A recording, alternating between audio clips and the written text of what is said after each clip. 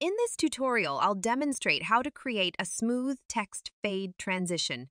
To begin, import a video clip and add the desired text to your timeline. Now ensure the text clip is selected and head to the Effect Controls under the Video section. There, you'll find the opacity setting.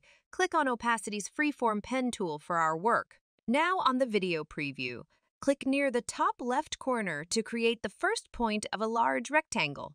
Continue adding three more points from left to right, forming the complete rectangle and close it by clicking on the initial point again. Next, let's create the animation. Move the playhead to the point where you want the text to start fading in and click the stopwatch next to the mask path to set a starting keyframe. If the mask disappears, click on Mask 1 to make it visible again. Now, drag the mask to the side from where you want the text to fade in. Ensure the mask is entirely out of the frame. Now, move the playhead to where you want the text to be fully revealed and reposition the mask back over the text. This action will automatically create a second keyframe, completing the animation. If you play the timeline now, the animation should be visible, but it might resemble more of a wipe than a fade.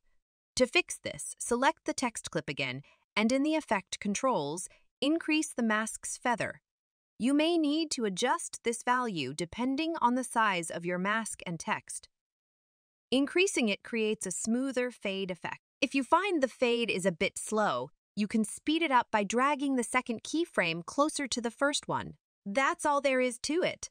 Thanks for watching and see you in the next tutorial.